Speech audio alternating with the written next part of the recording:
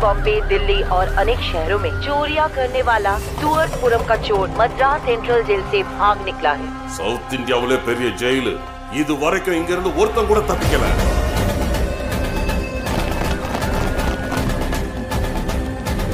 You worked in the Tiger Zone, throne of Nageshwar Rao.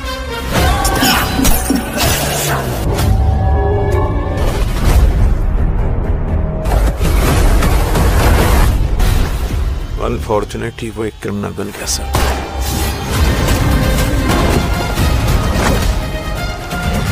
उसने आठ साल में ही खून पीना शुरू कर दिया।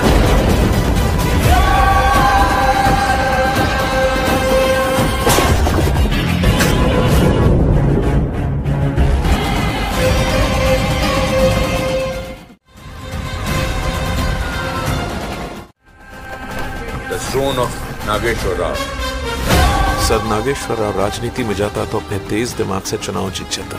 स्पोर्ट्स में जाता तो दौड़ कर इंडिया के लिए मेडल जीत जाता।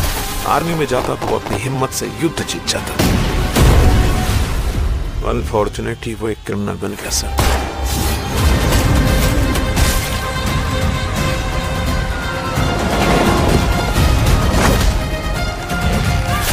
शेर बाघ जैसे जानवर भी एक उम्र तक दूध पीते हैं, लेकिन उसने आठ साल में ही खून पीना शुरू कर दिया